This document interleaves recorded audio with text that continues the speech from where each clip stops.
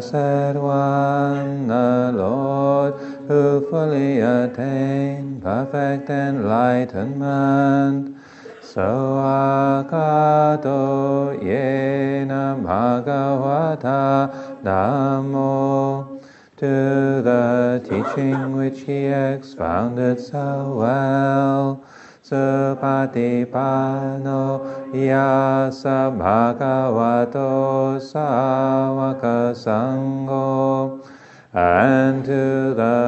Blessed One's disciples who have practiced well. Tamayang Bhagavantang Sadama Sasangang to these the Buddha, the Dhamma, and the Sangha. Imehi sakare yata rahang aropite abhipujayama. We render with offerings our rightful homage. Sadhu no pande bhagawa suchira butopi. It is well for us that the Blessed One, having attained liberation, Pachima Janatanukamba Manasa still had compassion for later generations. Ime sakare dukhatapana karabute patikanhatu. May these simple offerings be accepted. Amhakang digaratang hitaya sukhaya for our long-lasting benefit and for the happiness it gives us. Arahang Samma Sambuddho Bhagava the Lord, the perfectly enlightened and blessed one, Buddhang Bhagavantang Abhivademi. I render homage to the Buddha, the Blessed One. Sawakato Bhagavata Dhammo, the teaching so completely explained by him, Dhammang Namasami, I bow to the Dhamma. Supatipanno Bhagavato Sawaka Sangho the Blessed One's disciples who have practiced well, Sangang Namami, I bow to the Sangha.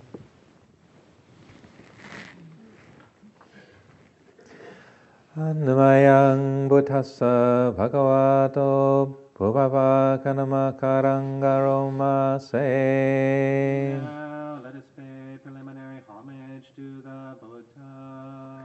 Namo tassa bhagavato arahato sama sambuddhassa.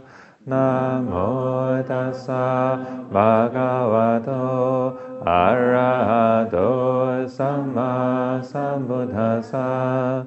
Namo tassa bhagavato arahato sama sambuddhassa. Homage to the blessed, noble, and perfectly enlightened one. Homage to the blessed, noble, and perfectly enlightened one. Homage to the blessed, noble, and perfectly enlightened one. Annamayang Buddha Bituting Aroma say. Now let us chant in praise of the Buddha. Yo so Tathagato Araha Sama Sambuddho. The Tathagata is the pure one, the perfectly enlightened one. Vicha Charana Sampano. He is impeccable in conduct and understanding. Sugato, the accomplished one. Lokavidu, the knower of the worlds. Anuttaro Purisa Dhammasarati. He trains perfectly those who wish to be trained. Sata Deva Manusanang. He is teacher of gods and humans. Buddho Bhagawa. He is awake and holy. Yo imang lokang satevakang samarakang sabramakang. In this world with its gods, demons, and kind spirits, sa samana brahmaning pachang sateva manu sang sayang abinya sa chikatawa pavedesi. Its seekers and sages, celestial and human beings, he has by deep insight revealed the truth. Yautama desesiyadi kalayanang maje kalayanang pariyosana kalayanang. He has pointed out the Dhamma, beautiful in the beginning, beautiful in the middle, beautiful in the end. Satang sabhyanjana kevala paripurnang parisudang brahmacharyang pakasesi. He has explained the spiritual life of complete purity in its essence and conventions. Tamahang Bhagavan Tang Abhipujayami Tamahang Bhagavan Tang Sirasa Namami Chant my praise to the Blessed One. I bow my head to the Blessed One.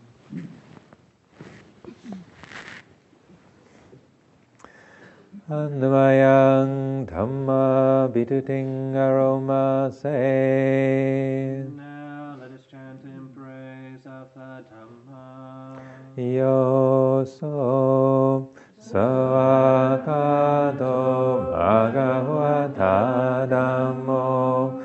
The Dhamma is well expounded by the Blessed One. And now, akaliko, timeless, eipasiko, encouraging investigation, opanaiko, leading inwards, bachatang veditamo vinyuhi, to be experienced individually by the wise. Tamahang damang abhibhujayami tamahang damang sirasa namami. I chant my praise to this teaching. I bow my head to this truth. Anvayang Sangha Biduting Aroma say. Let us chant in praise of the Sangha. Yo so supatipano bhagavato sawaka sangho. They are the Blessed One's disciples who have practiced well. Ushupatipano bhagavato sawaka sangho. Who have practiced directly. Nyayapatipano bhagavato sangho who have practiced insightfully. Samijipatipano Bhagavato Sāvaka. Those who practice with integrity. Yadidha Chatari Purisayukani Yata Purisambhugala. That is the fourth, the eight kinds of noble beings. Esa Bhagavato Sāvaka Sangho. These are the Blessed One's disciples. Ahunayo. Such ones are worthy of gifts. Pahunayo. Worthy of hospitality. Dakinayo. Worthy of offerings. Anjali Karaniyo worthy of respect. Anuttarang punya ketang lokasa. They give occasion for incomparable goodness to arise in the world. Tamahang sangang abipu chayami tamahang sangang sirasa namami. I chant my praise to this sangha. I bow my head to this Sangha.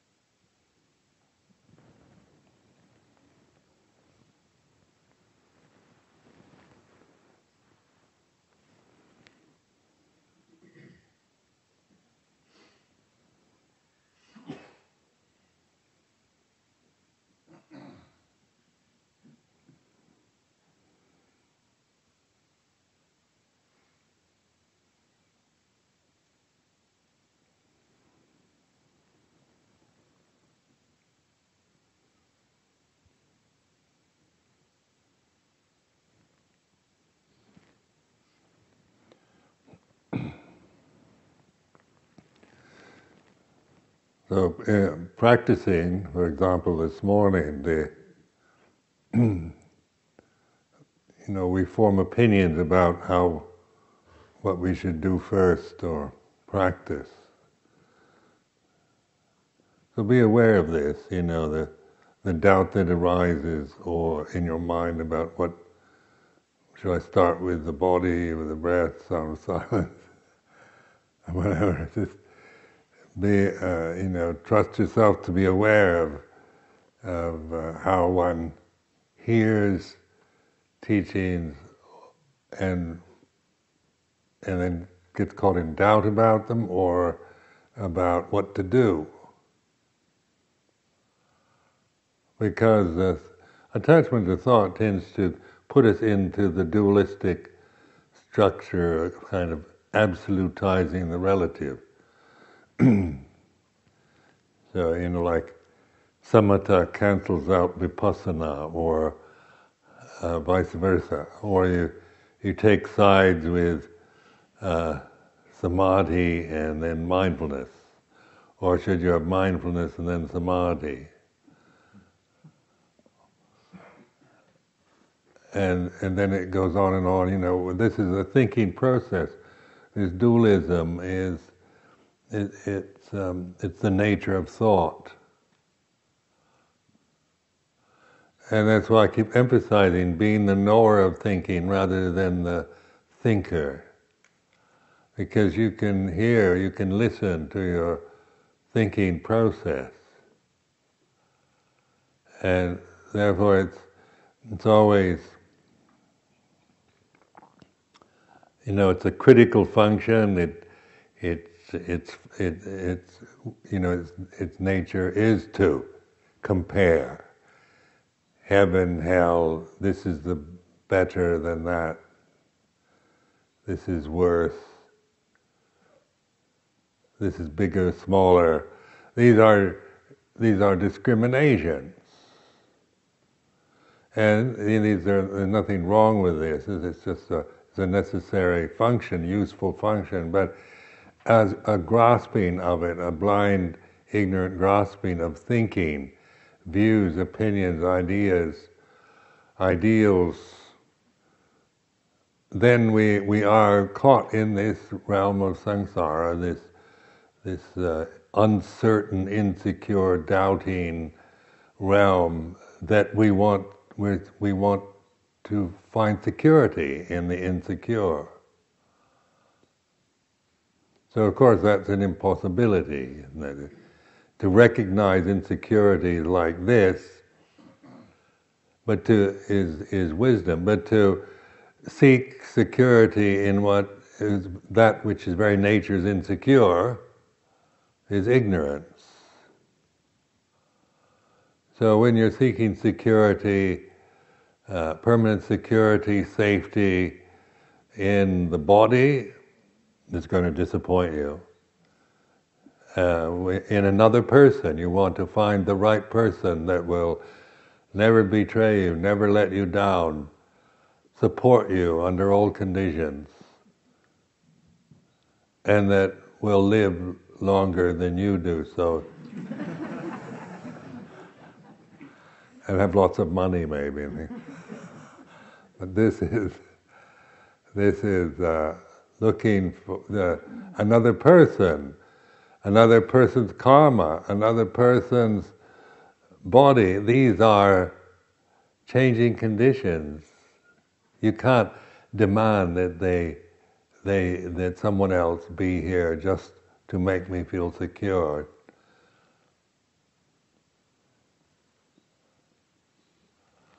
Or in conventions, teachers, religion, governments.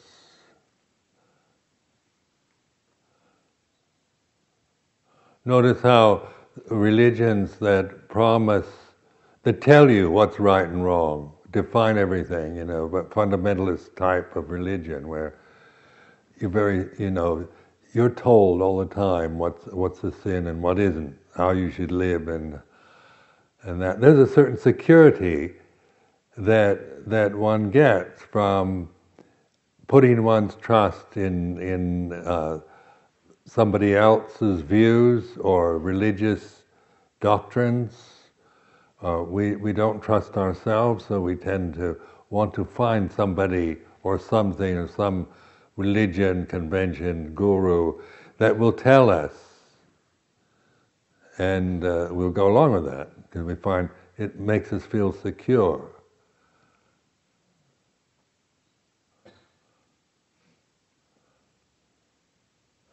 So you find like people following gurus that are very confident and very, you know, very sure about what's right and what what's wrong and how you should live your life. And you know, some of them are madmen, but they still have followings. because human beings, we're we're you know we we don't know who we are and we don't trust ourselves, so we're looking for security. And somebody that's very confident, when you're not very confident, is very impressive. You know, I can trust this. He, he or she knows what they're doing. I don't, so I will do what they they tell me to do. So it's like seeking the security in the insecure. So in this reflective style, you know, get, uh, you know, learning to reflect on the thinking process, you know, observe. Thinking is like this, and then uh, I've been encouraging this intentional, deliberate thinking. So you, it's not just accidental, or you're not grasping the idea of watching thinking, but you know, it's quite simple. You know, you just intentionally think whatever you want to think, but be the observer, the the, one that's knowing, thinking is like this. I am a good person. I am not a good person. Is like this. This sense of me and mine. These these uh, pronouns in English are very strong. You know, they what about me? And it's emphasized, you know, when you're feeling left out or or not uh, appreciated. Think, what about me? And they emphasize me is uh, is an assertion of of uh, sakyaditi, self. My view, my opinion, what I think. If you want to know what I think, if you want me to tell you what you should do, I think you should.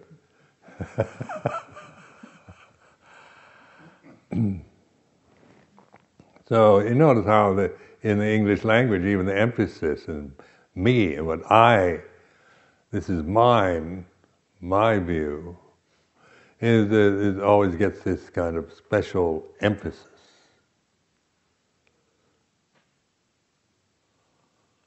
So, me, mine, I, these are personal pronouns, but they're, they're, they're, it's English grammar, and you can hear yourself thinking. You know, and you're in this feeling left out, you think, what about me? You can hear yourself thinking that. I can anyway. Uh, maybe you can't.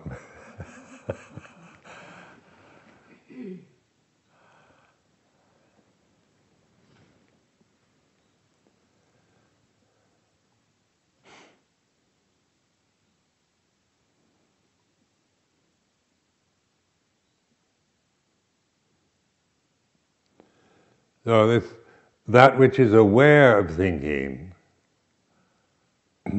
so we put that in the in the using this word buddho as a as a reminder, not as an identity, not as just another sakyaditi identity or thought, but as a, a, a skillful means to remind.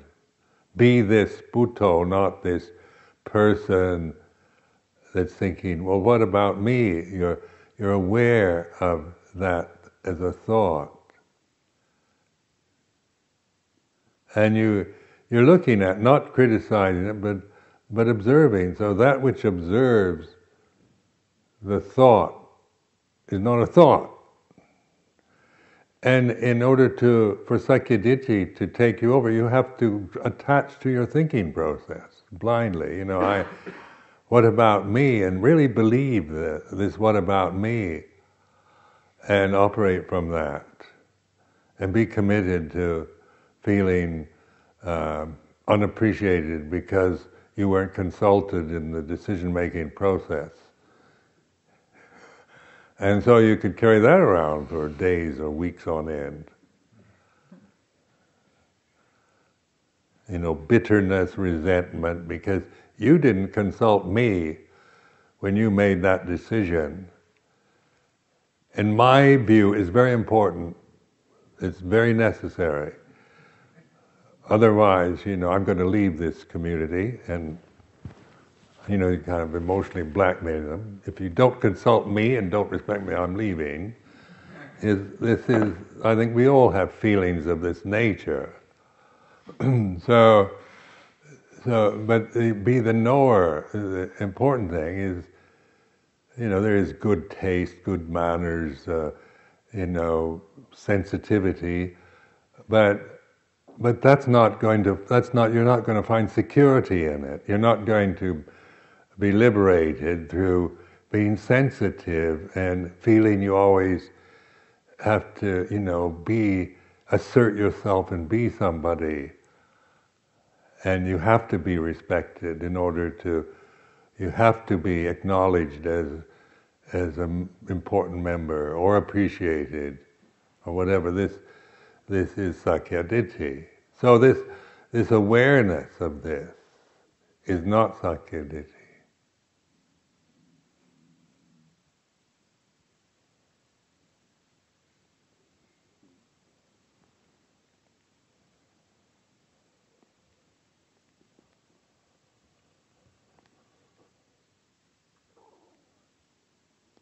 And so this is, you know, this awareness, this Buddho is not not Sakyaditi, it's a it's a use of a word, a perception, a thought, a convention as a reminder. So it's not a grasping of it. I'm not saying I'm the Buddha, I am the Buddho, and Buddha is mine, my Buddha, Buddha is me.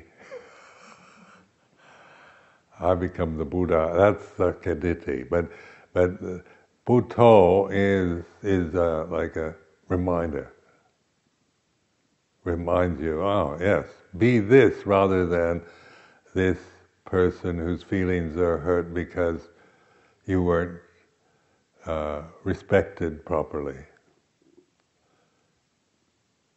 So that this way you you begin to notice uh, how, how we do suffer, create endless problems uh, and, and dukkha around uh, because of this ignorance.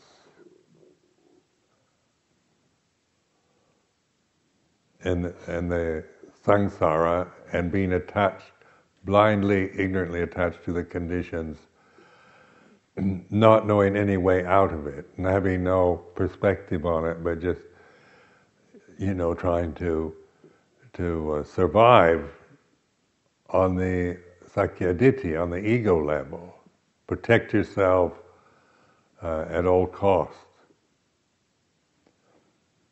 So it's uh, trying to demand security from the insecure. You see, well, that's ridiculous, isn't it? When you really contemplate it, you can't ask things that are changing to not change when there's natures to change.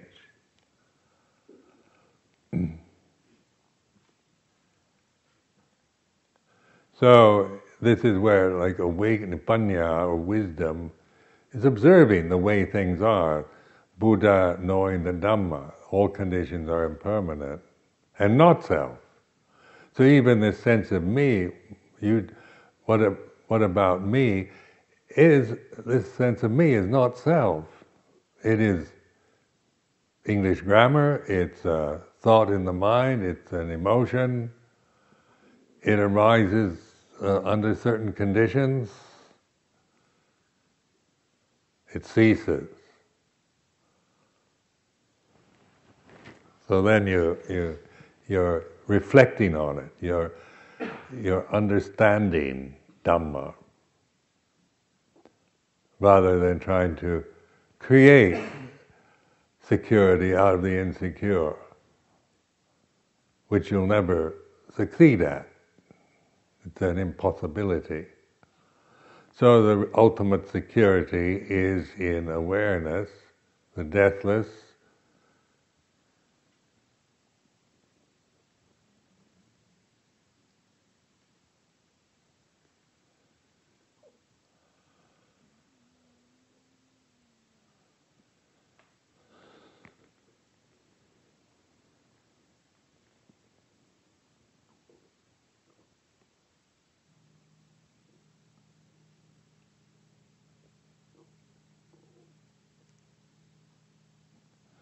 So the third fetter, doubt, vicikiccha, is a result of attachment to thinking.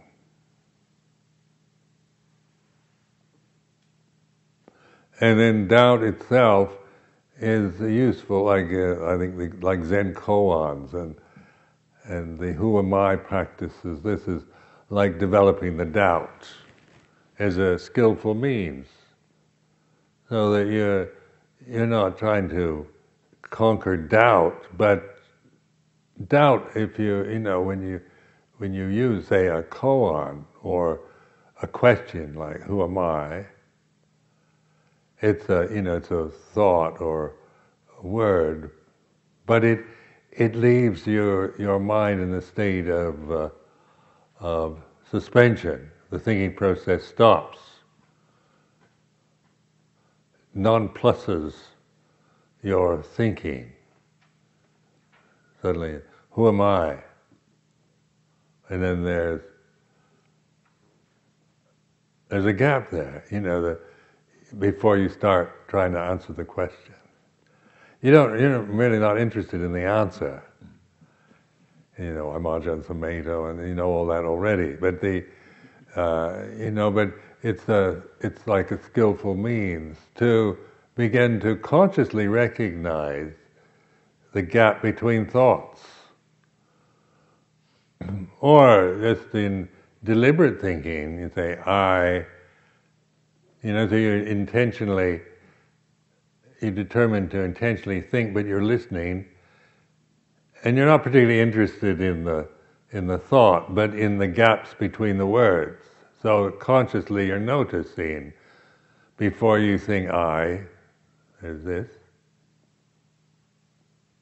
You're aware that you haven't thought I yet. And then you intentionally think I. And there's a gap. it's very simple, isn't it? It's so obvious.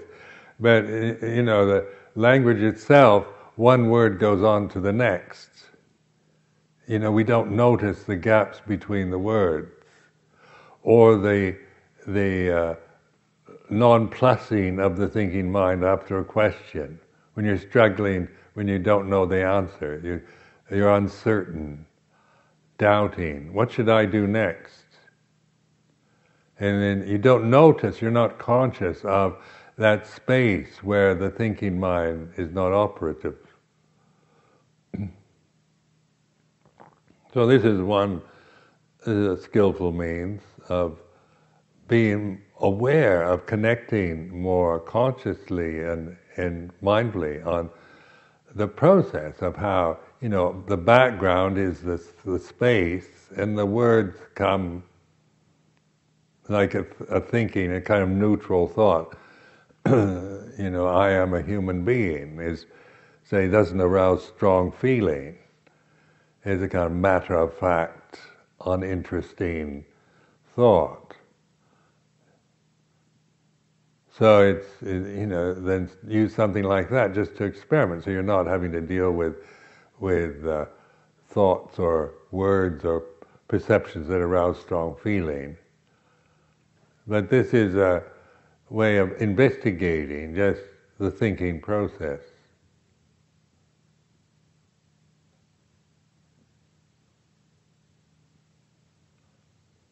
And so you're this, like consciousness if you, uh, you, you know, we, we tend to experience consciousness through conditions. We're not aware or really conscious of something that we have no perception for. And it's interesting, they have this uh, Tate Modern gallery in London, and so it's the, the Tate gallery, but it's all modern art, and so the, you go into the Tate Modern, and there, there's all kinds of crazy art forms. And it's just interesting to watch people in this art gallery. And some of them get really frustrated. My, you know, the, the, uh, what is passing for modern sculpture or, you know, abstract art or whatever, if, it, if they have no way of perceiving it other than, what does it mean, you know? And so a lot of the paintings that are called untitled, that's even more frustrating. you say, sunset over Venice, even though it doesn't look anything like it, at least you can kind of squint your eyes and make it.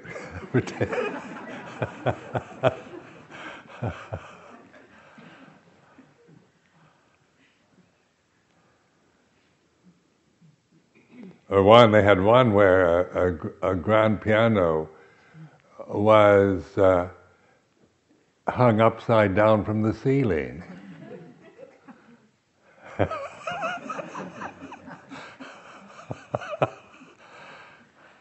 now, if you think, you know, that you want art to be sensible, and that then that's a ridiculous thing to do, uh, hang a grand piano upside down from the ceiling. But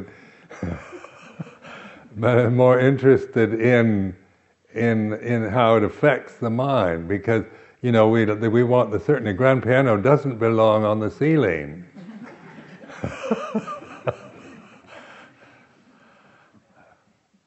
so you know it should be on the floor. Then then it's all right. I feel all right about that. But then it's hanging from the ceiling.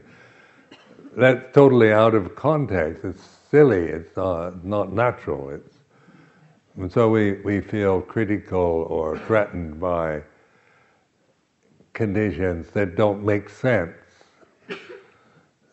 So you know, like like you find like xenophobia or racism or fear of foreigners and things like this are all around. Uh, you know, wanting security from what you know, what you feel safe with, like your own group your own ethnic group. Like in England, for example, to be with real Englishness. And, and you get all these foreigners coming into the country. And now the European Union's expanded so all these Romanians, Eastern Europeans, these foreigners, you don't know what they'll do next. No, the, the, a tendency to want to to just hide away in in Englishness and, and kind of because that you feel secure with some idea or view of limitation, ethnic identity that that because a foreigner you don't quite know what they'll do.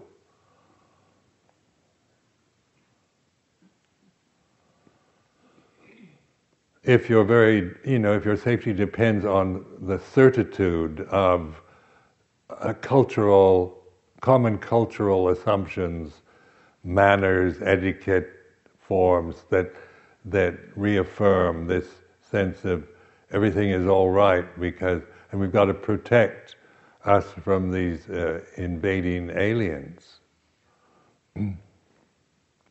so xenophobia is. a problem. We that the modern, you know, now because everything's mixing up. Like in Europe, everything's mixing now. You can't just have pure Englishness or anything else. It's it's uh, it's not that's not possible. There's always been this mixing, migration going on.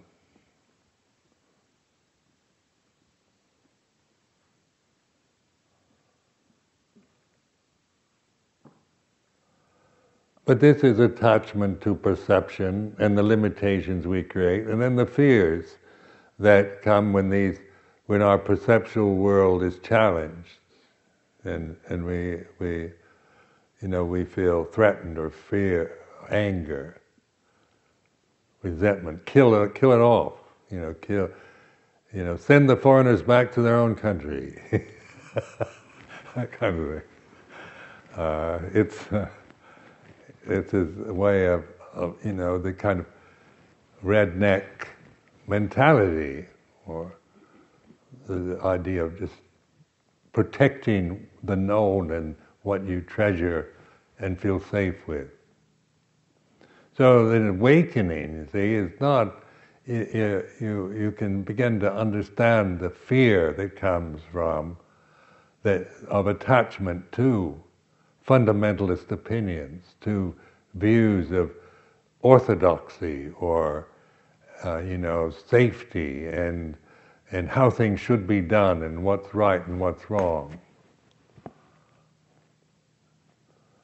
Moral dilemmas now, you know, about in medical science.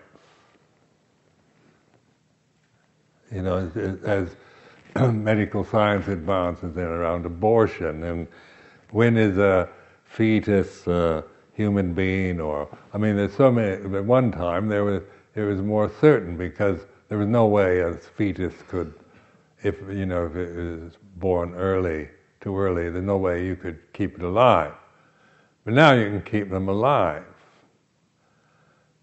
uh, a hospital in London where the whole ward of, of premature babies, fetuses, are in incubators. You know, just like little rats, really. You know, with tubes going in, they can keep them going. When when is it? When should you pull the plug out? Switch it off. Switch off the machine. These are moral dilemmas around sexuality. In the the, the Bible says homosexuality is abomination. And then there is this, this question now, is it really, or, you know, what is, is, is this to be grasped, this view, or uh, is it to be questioned? So, you know, the, the kind of moral dilemmas that so there's a tendency to want to quote the Bible and say, the Bible says this, and so we must believe it. So notice how we get security, we might find our security in grasping our interpretation of, of the bi- biblical teachings.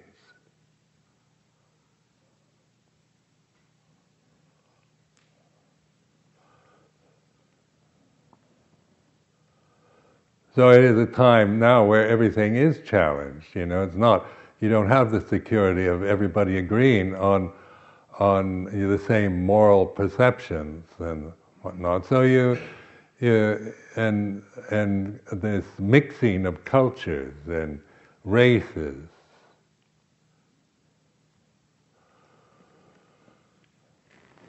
It all makes us feel, you know, it, it, it doesn't have the certitude that we had when when traveling. Like I go to Thailand every year, that's easy. It's only 11 hour flight from London to Bangkok. but, like 100 years ago, it was, you know, Thailand was far away. but now it's not. Neither is any other place.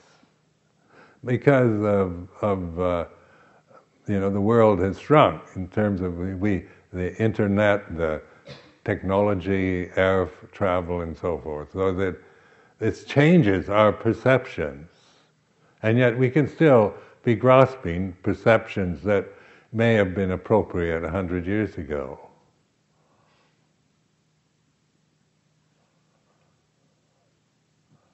So there's a lot of like ethnic demands, you know, Basque liberation and uh, all these, this kind of the way that what happened to Yugoslavia, uh, everybody asserting their their ethnicity at the expense of everyone else. Uh, so that this sense of in, in Britain, Great Britain is is getting smaller and smaller. You know, Scots are probably become independent, and then the Welsh, and there's even the independence movement in Cornwall, and and then I hear Yorkshire plans to.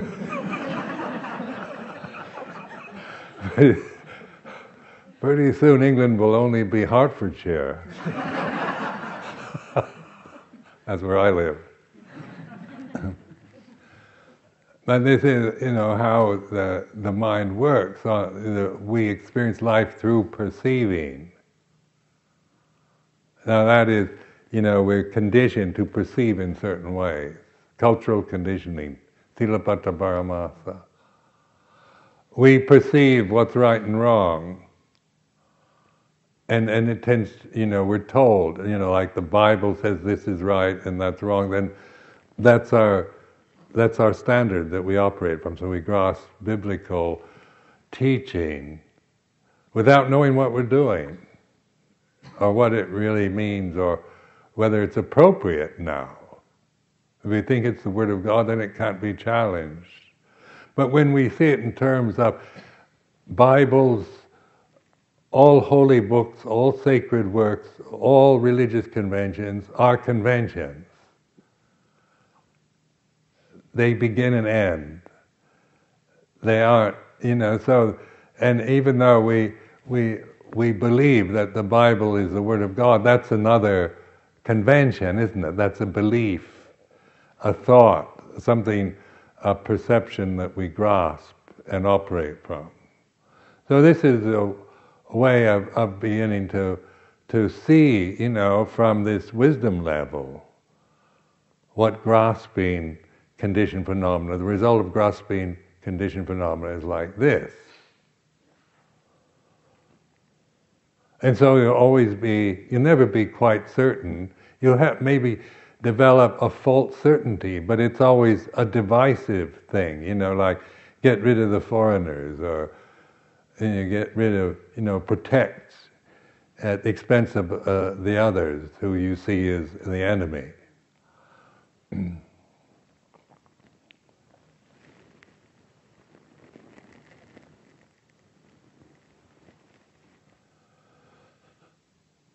so in the deathless, then the uh,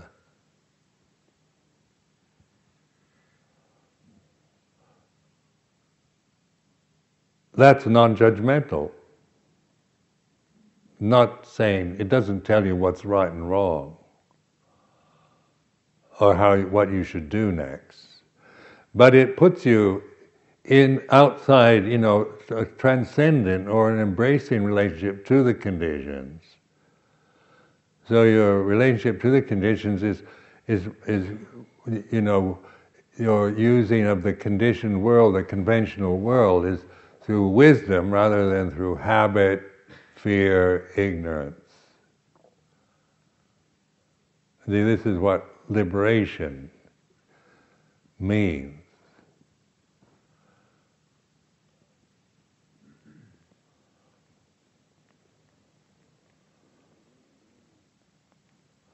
So then we have the discernment, and, and through that wise discernment, then we can respond to particular things.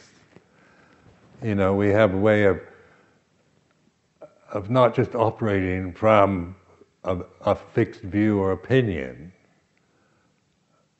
but from the immediacy of, of the present, from from understanding, from panya, from wisdom, rather than from ignorance.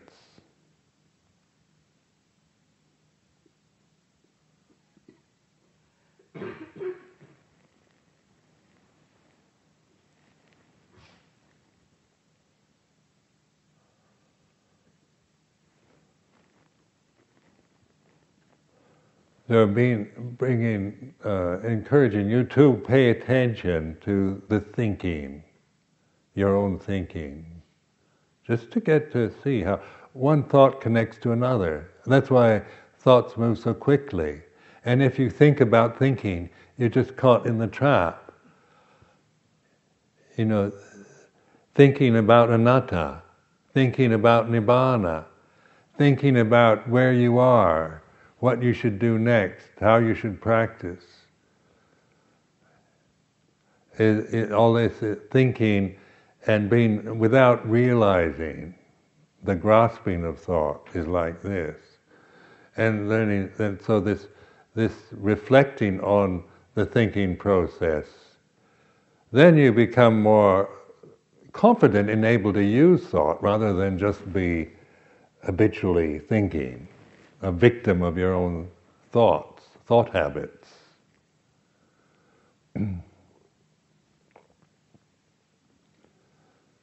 so in the present moment, there's a space, there's the, the thought rising, ceasing, the gap. Or all this leads towards the unconditioned, unborn, or the emptiness, or you know, whatever you want, anatta. These words, these uh, these words like anatta, nibbana, nirodha, was uh, cessation. Um, unborn, uncreated, unconditioned. These are these are words too, but they're you know they're they're you can't create a, a non-self as an image. Can you can't you can't create an anatta image. You can create an atta image, a self. You know, you can do a self-portrait or whatever. But the but the but the anatta So it is a, it is to to recognize, realize anatta is through mindfulness. This pure conscious awareness is non-personal, non-cultural, non it not doesn't depend on thoughts or conditions but it's always here and now. It's the background. It's the what holds everything together. And then from this point, being this, then your relationship to the your body uh, and your condition, your habits, your emotions, your memories are like this. you you see them in terms of what they are, rather than being identified and limited by the, the habits you've acquired.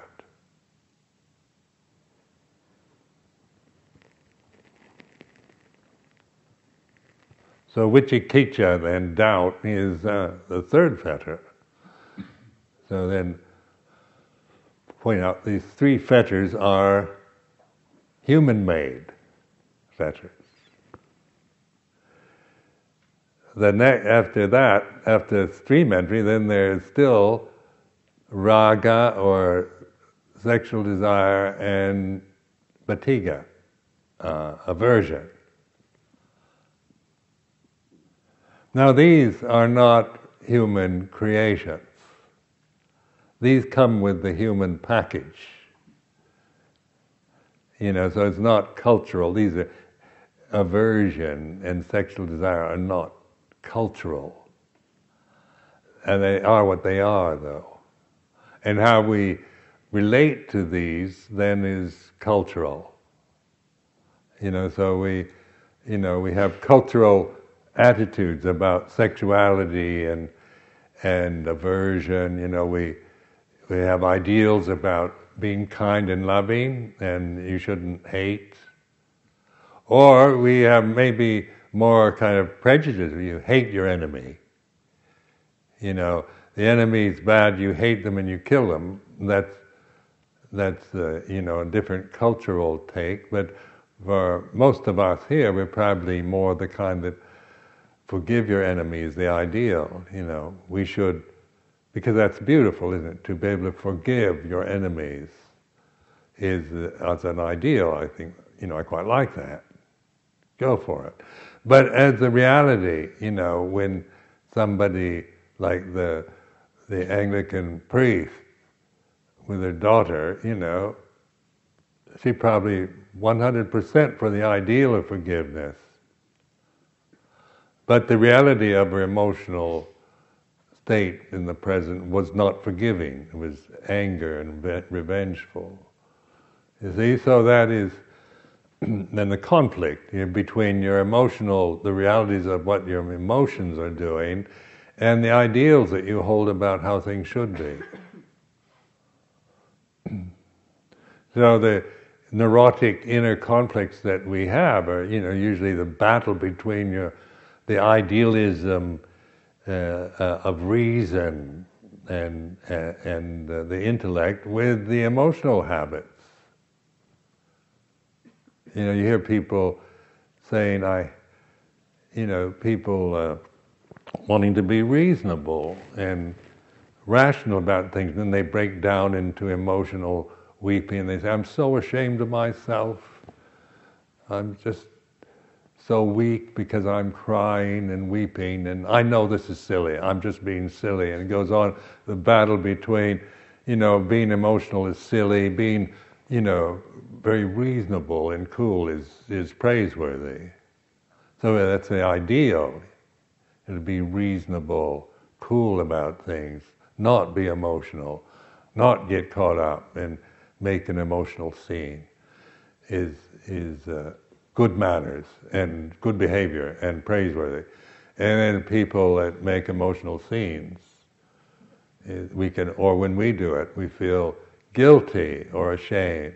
So this is just to recognize that emotions, you know, they're not reasonable, but they're certainly, you know, how we feel life and how we experience things. So this awareness of emotion is not saying is don't be silly, don't make a scene, but it's able to to um, see the emotion, to receive emotion, no matter how, you know, no matter if it's mature, immature, whatever you, whatever perception you you want to label it, it's like this.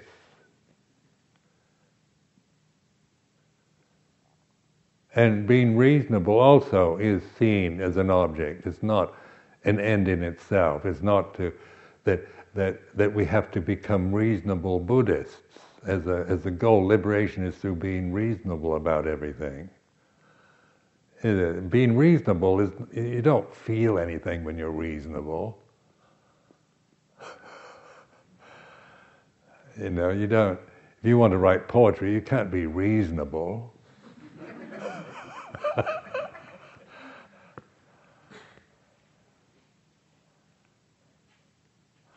when you go to the Tate Modern in London, you know, reasonable people can't stand it. because being reasonable is ha- grand piano shouldn't be hanging from the ceiling. That's reasonable.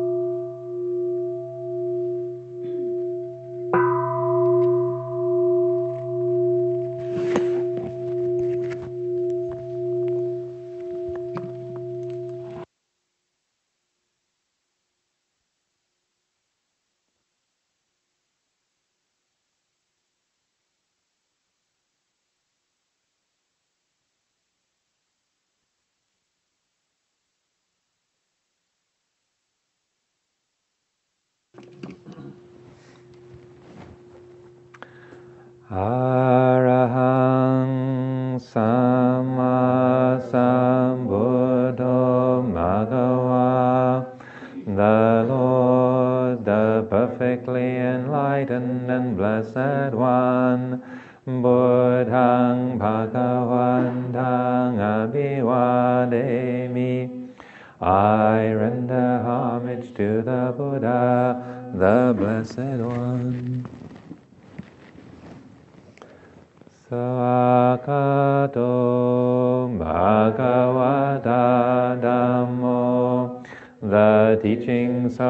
completely explained by him. Dhammang Namassami, I bow to the Dhamma. Supatipanno Bhagavato Savaka Sangho the Blessed One's disciples